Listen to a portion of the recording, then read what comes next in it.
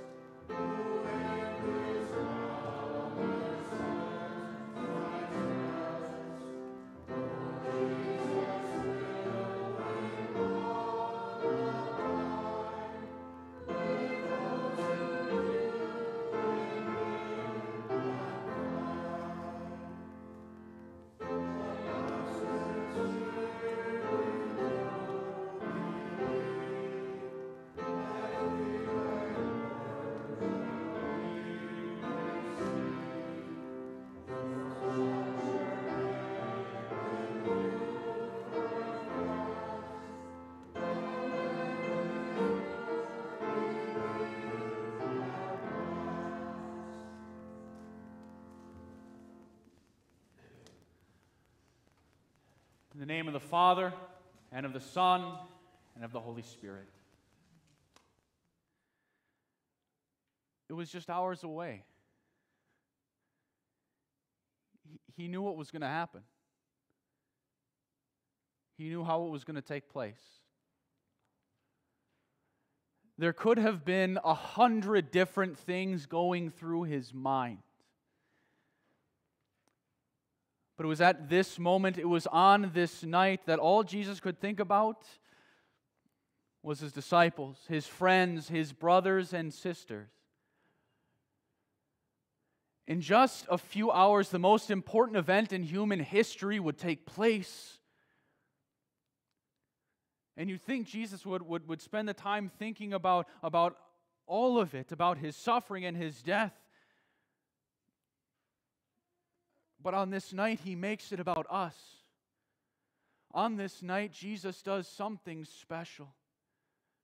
Our Savior gives to us something special. For tonight, our Savior willingly gives his body. Our Savior willingly pours out his blood. Our Savior does all of this for you. Oh, this night was, was already special for God's people. This, this night began the celebration of the Passover. It was a, a memorial celebration to remind the Israelites of their deliverance from Egypt through a, a vicarious atonement of shedding of blood, the people of Israel were spared God's wrath. And so God instituted the Israel instituted this meal to the Israelites to remind them how God had made them his people. Likewise, tonight, Jesus does something special. He was very eager to have this celebration with his disciples. He had everything prepared, he had everything planned out for this to take place. For Jesus was going to institute a new meal. He institutes something special to remind his people of their own deliverance, of a different kind of deliverance. Jesus sits down with his disciples, and we see how he institutes this meal.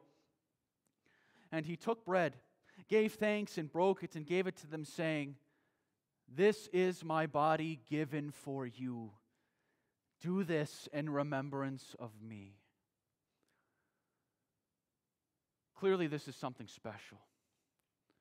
For in this bread that he breaks apart and shares with his disciples, he says that this is my body and he says it is his body. It doesn't say it represents his body. This is what he is offering. He gives to his disciples his very body. And he willingly gives that body. And you hear that the most important words in that phrase, he says, He gives this body for you. And what is so special about this for you is that it's not just for benefit. But when your Savior says this body is given for you, He's saying it's because it's in place of you. He's giving it in, instead of you. Our Lord willingly gives His body in our place for our benefit. This is a very serious moment for Jesus. This is something he, he wanted to do. This was something he was doing, something he was instituting hours before his suffering would begin. He was doing something important. He wanted his disciples to understand the serious nature of what he is doing. He wanted all of his people to understand how serious this is. For in this meal, he demonstrates how deliverance was brought about. He reminds his people of what he had come to do. He had to come, he had come to give his body for his people. He had come because of his people's sin. How often do we actually take those words seriously? How often do we recognize just how important, how often do we take seriously what is offered here, what our Savior is giving? How often do we take seriously the reason his body is offered. Sometimes we, we come forward not thinking. Sometimes we, we come forward just, just out, of, out, of, out of tradition, just because it's what we normally have done.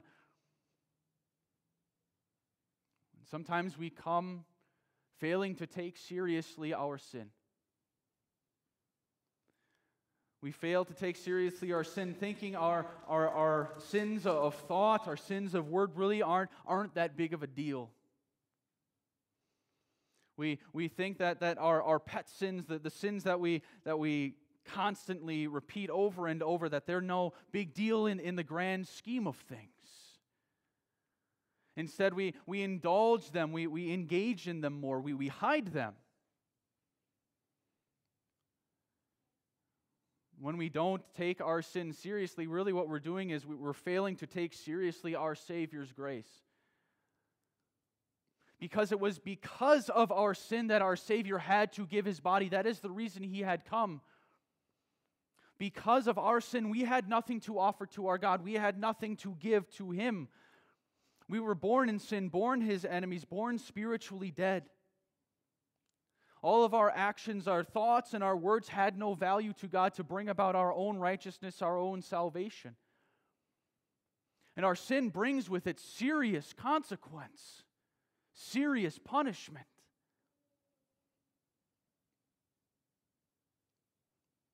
And our Savior recognized that. He understood how serious all of this was. And he takes this moment seriously. Because at this moment, He was doing everything for you. He did it in your place. Our Savior gives His body for you. Our Savior willingly came down to this earth. He became true man in our place, to live in our place, to live perfectly God's law instead of us. And then our Savior willingly gave his body on the cross. He willingly gave up his body to suffering and death for you. This is the very same body he offers you now in this sacrament. He invites you to the supper to receive that body and to receive that benefit. Do this, he says, because he is serious about what he wants to give to you. He wants to give you forgiveness. He wants to offer you life and salvation, which is found here. By the giving of his body, you now stand as precious in God's sight. By the giving of his body, your body will be made new at the resurrection. By the giving of his body, you will celebrate that, that feast in its fulfillment in heaven at the side of your Savior. By the giving of this body now, you are assured of this now and always. This is what he has done for you. But this is only half of what our Savior has done. He continues with his institution. In the same way, after the supper, he took the cup, saying, This cup is the new covenant in my blood, which is poured out for you. Jesus passes a, a cup of wine to his disciples. The wine in this cup is, is a new covenant, he says, that he is making with God's people.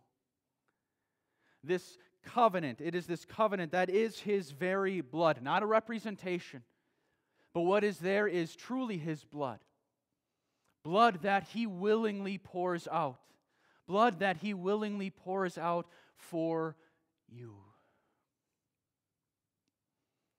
Again, we see just how, how serious our Savior is with this meal.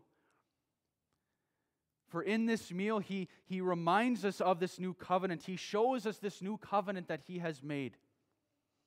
A covenant that is different than the one that the Lord gave to, to Moses and the people of Israel, uh, the, that temporary one, where they had to fulfill God's commands and God would be His people. This is a different covenant, a different kind of contract. A contract that pointed back to the very beginning of that first promise in the Garden of Eden. Here are the terms that Jesus willingly pours out his blood for the salvation of all. In this covenant, Jesus freely offers forgiveness and life by his work and his work alone. It is completely done in him, it's one sided. Jesus has done it all for you. There's nothing you can do, there's nothing you need to do. It's all been done for you. This is what is offered to you in this sacrament. And so, as such, this special institution, this special meal is something that you cherish because of what is offered here. You treasure it. And since you treasure it, you, you want to do it.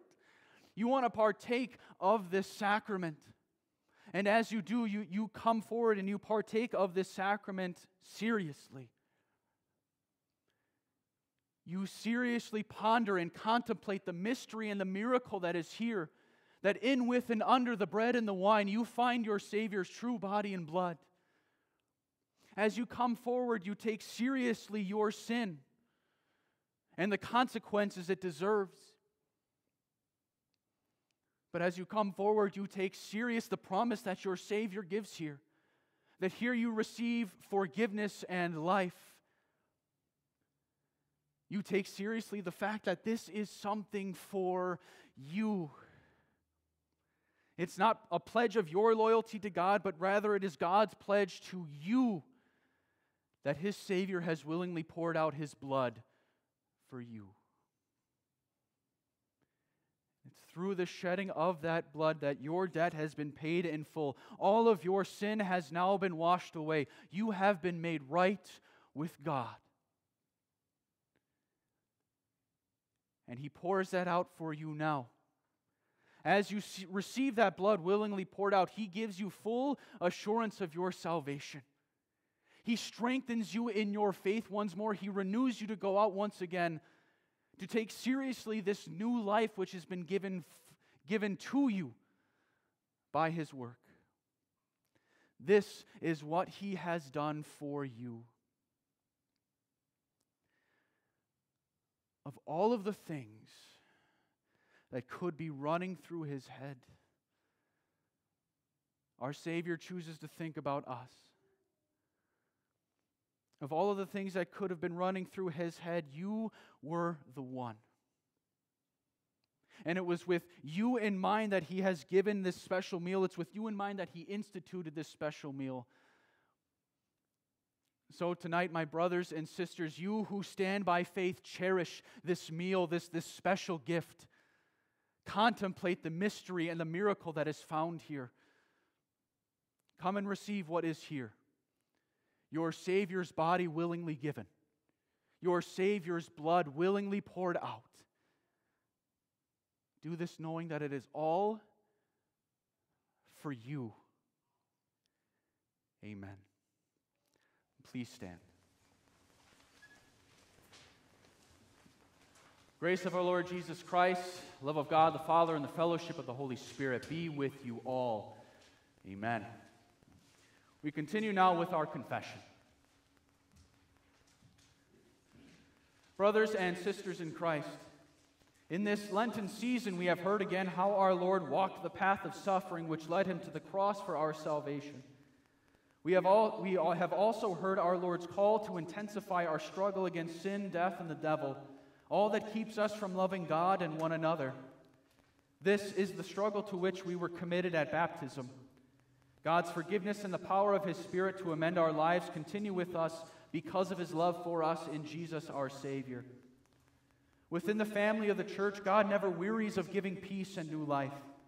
In the absolution, we receive forgiveness as from God Himself. This absolution we should not doubt, but firmly believe that our sins are thus forgiven before God in heaven, for it comes to us in the name and by the command of our Lord.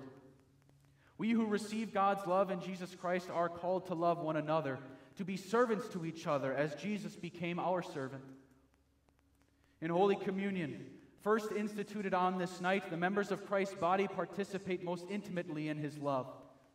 Remembering our Lord's Last Supper with his disciples, We eat the bread and drink the cup of this meal.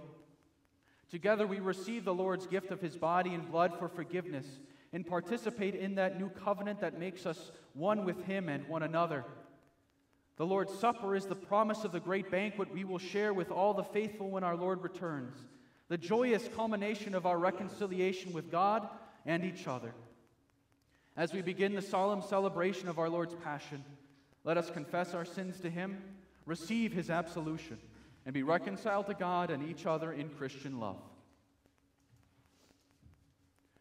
Holy God, gracious Father, I am sinful by nature and have sinned against you in my thoughts, words, and actions. I have not loved you with my whole heart. I have not loved others as I should. I deserve your punishment both now and forever. But Jesus, my Savior, paid for my sins with his innocent suffering and death. Trusting in him, I pray, God have mercy on me, a sinner.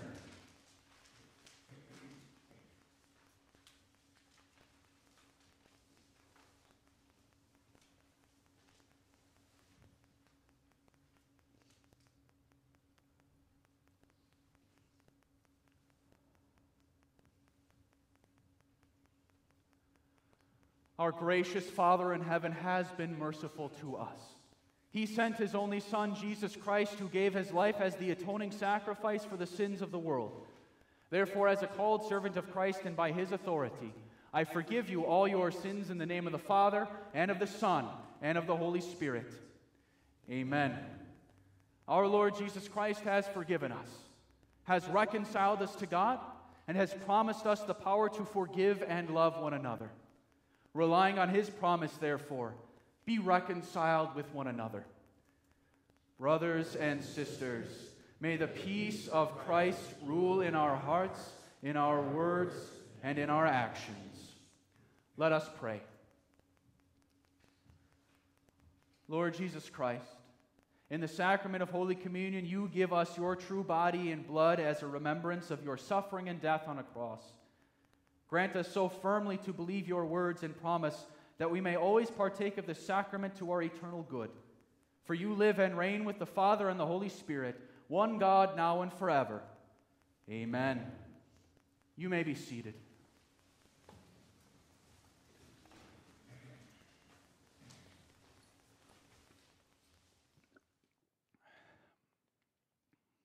We continue with God's word appointed for this evening, beginning with uh, a reading from Jeremiah chapter 31. There is a lot of doom and gloom in the book of Jeremiah. And yet, in this very chapter, we find one of the great, one of the most beautiful gospel promises in the Old Testament. Here, our Lord speaks of the new covenant, the new covenant which will be fulfilled in our Lord. The days are coming, declares the Lord, when I will make a new covenant with the people of Israel and with the people of Judah. It will not be like the covenant I made with their ancestors when I took them by the hand to lead them out of Egypt, because they broke my covenant, though I was a husband to them, declares the Lord. This is the covenant I will make with the people of Israel after that time, declares the Lord. I will put my law in their minds and write it on their hearts. I will be their God, and they will be my people. No longer will they teach their neighbor or say to one another, Know the Lord, because they will all know me, from the least of them to the greatest, declares the Lord. For I will forgive their wickedness and remember their sins no more. The word of our Lord. We continue with our Psalm of the Day, Psalm 116, displayed for you on the screens and found on page 107 in the front of the red hymnal.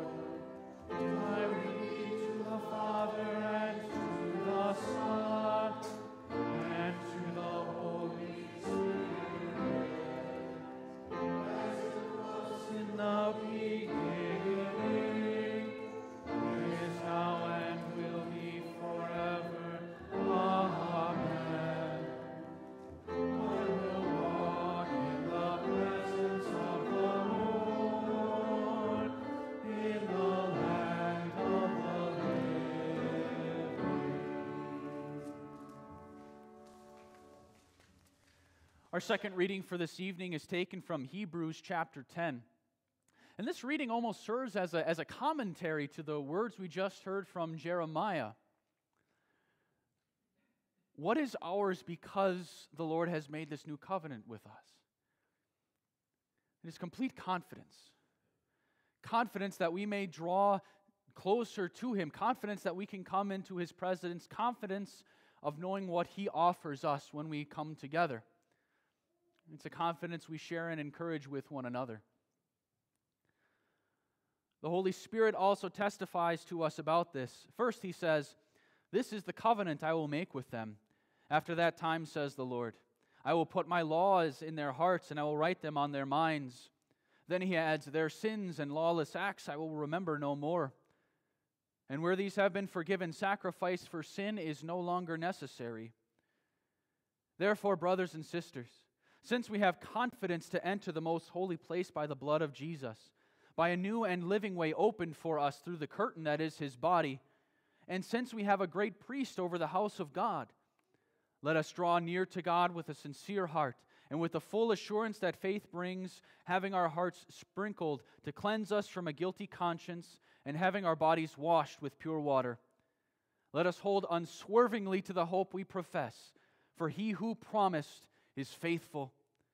And let us consider how we may spur one another on toward love and good deeds, not giving up meeting together as some are in the habit of doing, but encouraging one another and all the more as you see the day approaching. The word of our Lord. We continue now with the verse of the day. Whenever you eat this bread and drink this cup, you proclaim the Lord's death until he comes. Please stand for the gospel.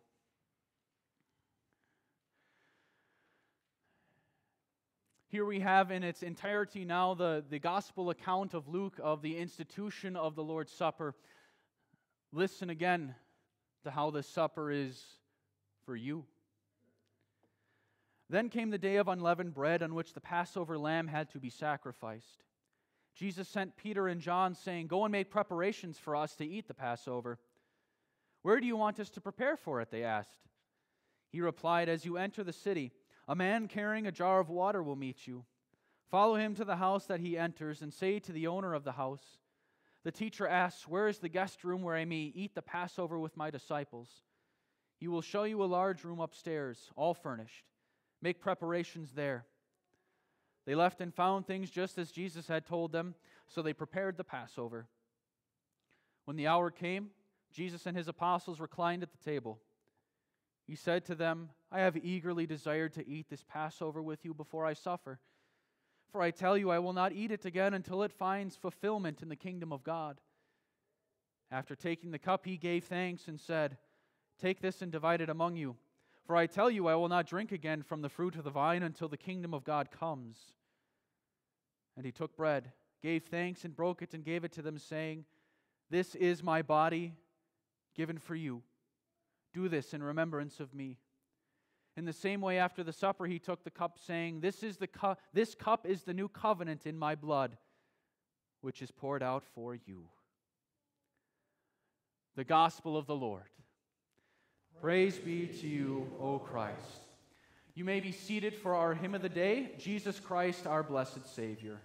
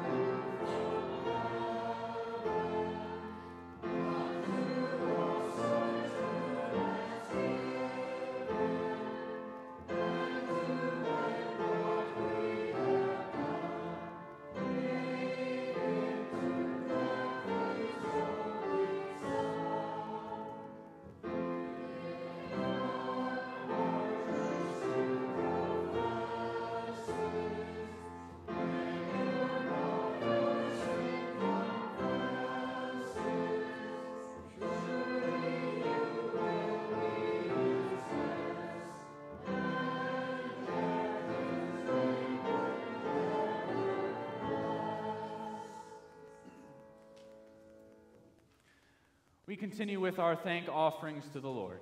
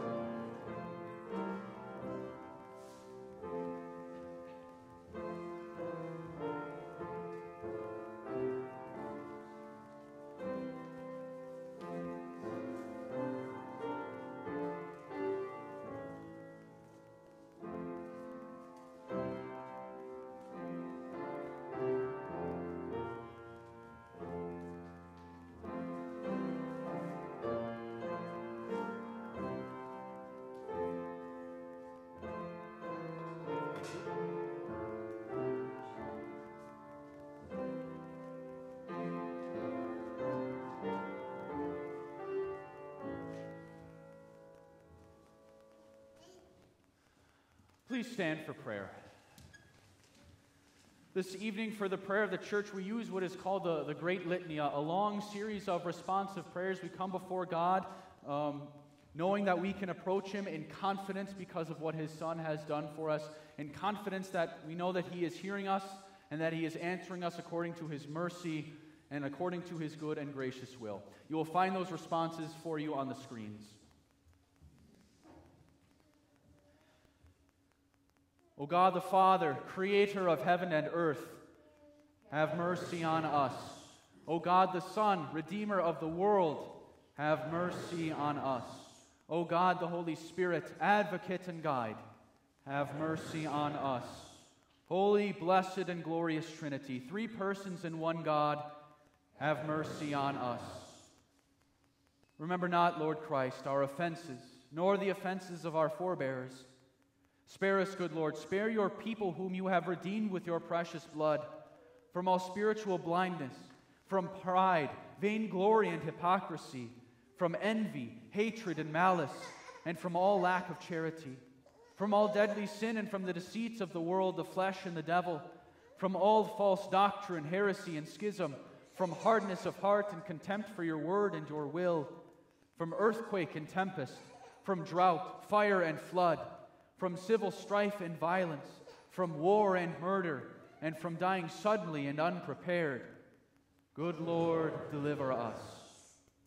By the mystery of your holy incarnation, by your baptism, fasting, and temptation, and by your proclamation of the kingdom, by your bloody sweat and bitter grief, by your cross and suffering, and by your precious death and burial, by your mighty resurrection, by your glorious ascension, and by the coming of the Holy Spirit in our times of trouble, in our times of prosperity, in the hour of death, and on the, on the day of judgment. Good Lord, deliver us. Receive our prayers, O Lord our God. Hear us, good Lord. Govern and direct your holy church. Fill it with love and truth, and grant it that unity which is according to your will. Enlighten all ministers with true knowledge and understanding of your word that by their preaching and living they may declare it clearly and show its truth. Encourage and prosper your servants who spread the gospel in all the world and send out laborers into the harvest. Bless and keep your people that all may find and follow their true vocation and ministry. Give us hearts to love and reverence you for you, that we may diligently live according to your commandments. To all your people, give grace to hear and receive your word and to bring forth the fruit of the Spirit. Strengthen those who stand firm in the faith, encourage the faint hearted, raise up those who fall, and finally give us the victory. Hear us, good Lord. Rule the hearts of your servants, the President of the United States and all others in authority, that they may do justice, love mercy, and walk in the ways of truth. Bless and defend all who strive for our safety and protection and shield them in all dangers and adversities. Grant wisdom and insight to those who govern us and to judges and magistrates the grace to execute justice with mercy. Hear us, good Lord. To all nations grant unity, peace, and concord, and to all people give clothing, food, and shelter. Grant us abundant harvests, strength and skill to conserve the resources of the earth, and wisdom to use them well. Enlighten with your Spirit all who teach and all who learn. Come to the help of all who are in danger, necessity, and trouble. Protect all who travel by land, air, or water, and show your pity on all prisoners and captives. Strengthen and preserve all women who are in childbirth and all young children, and comfort the aged, the bereaved, and the lonely. Defend and provide for the widowed and the orphaned, the refugees and the homeless, the unemployed and all who are desolate and oppressed. Heal those who are sick in body or mind, and give skill and compassion to all who care for them. Grant us true repentance. Forgive our sins and strengthen us by your Holy Spirit to amend our lives according to your holy word. Hear us, good Lord. Son of God, we ask you to hear us. Lamb of God, you take away the sin of the world. Have mercy on us. Lamb of God, you take away the sin of the world. Have mercy on us. Lamb of God, you take away the sin of the world. Grant us peace. Lord, have mercy on us. Christ, have mercy on us. Lord, have mercy on us. Amen. We join together to pray. Our Father, who art in heaven, hallowed be thy name. Thy kingdom come, thy will be done on earth as it is in heaven.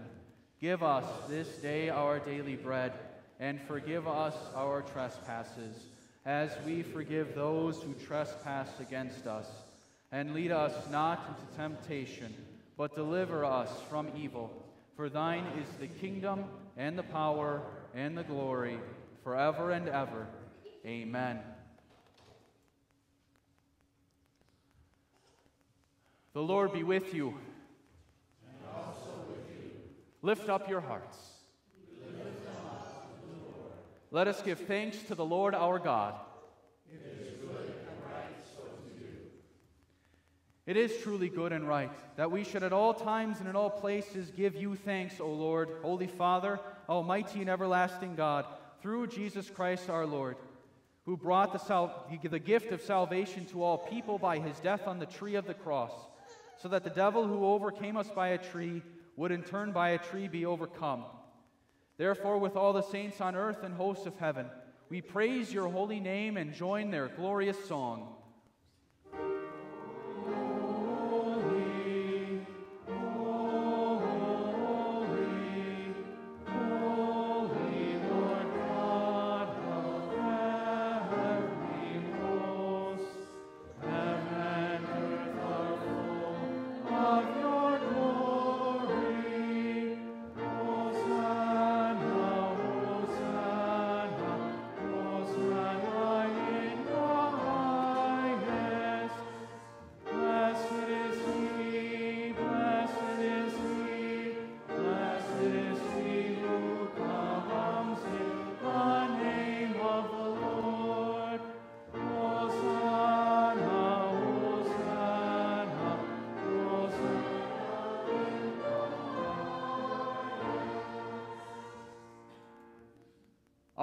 Jesus Christ, on the night he was betrayed, took bread.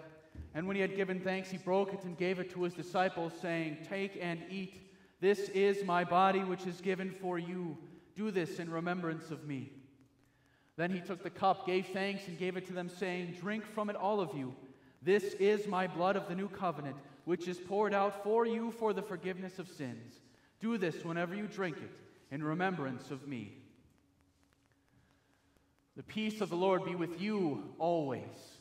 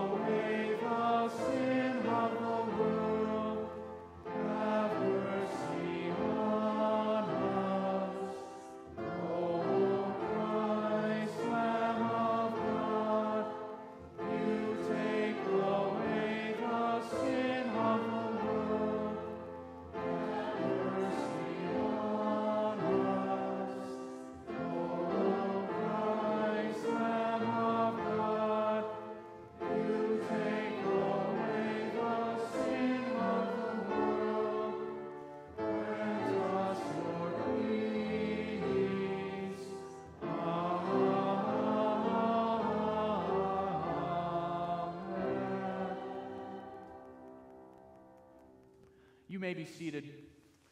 Uh, at this time, we invite the members of Shepherd of the Lakes Lutheran Church to come forward to receive the true body and blood of your Savior Jesus Christ. Uh, and again, this evening, if you wouldn't mind taking a, a, step further back from the stairs so that I could use the, the front step to walk along and, and distribute the elements. Thank you.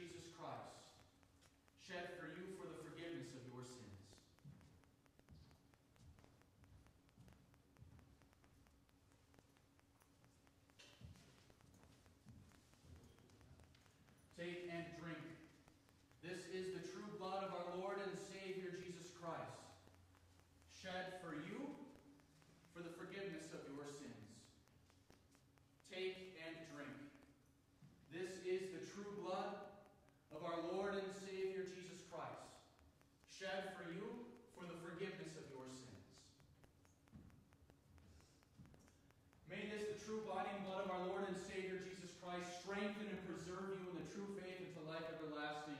Your sins are forgiven. Depart in peace. Amen.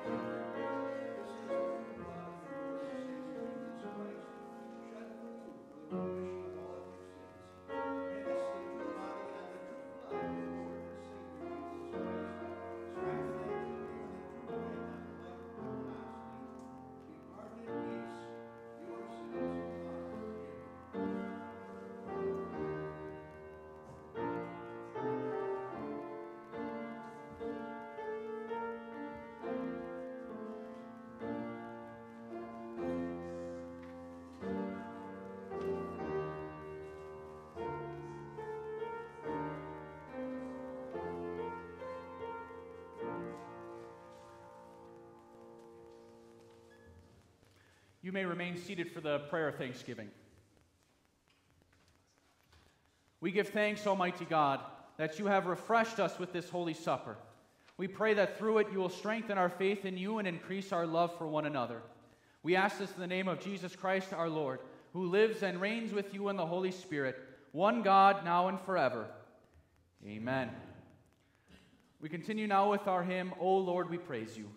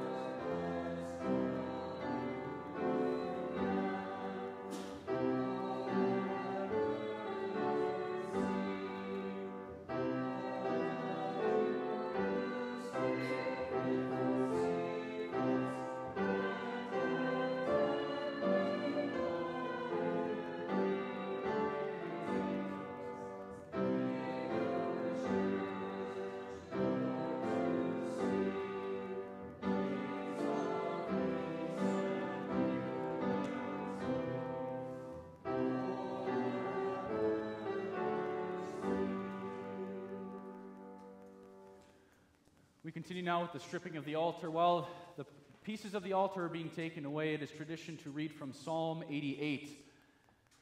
Psalm 88 is a very somber psalm, and yet it begins with a word of hope, word of trust. After the, the psalm is finished and the altar has been stripped away, you are once again welcome to stick around for prayer and meditation before dismissing quietly.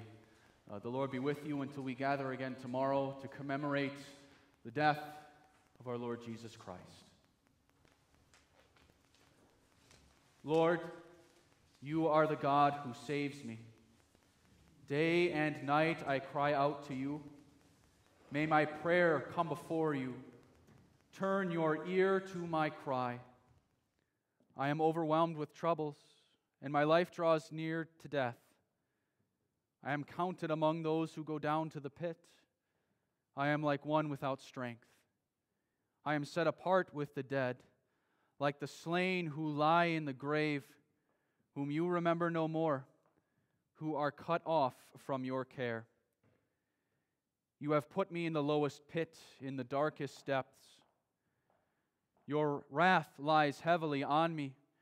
You have overwhelmed me with all your waves. You have taken from me my closest friends and have made me repulsive to them. I am confined and cannot escape. My eyes are dim with grief. I call to you, Lord, every day. I spread out my hands to you. Do you show your wonders to the dead? Do their spirits rise up and praise you? Is your love declared in the grave, your faithfulness in destruction? Are your wonders known in the place of the darkness, or your righteous deeds in the land of oblivion? But I cry to you for help, Lord. In the morning, my prayer comes before you. Why, Lord, do you reject me and hide your face from me? From my youth I have suffered and been close to death. I have borne your terrors and am in despair. Your wrath has swept over me. Your terrors have destroyed me. All day long they surround me like a flood. They have completely engulfed me. You have taken from me friend and neighbor. Darkness is my closest friend.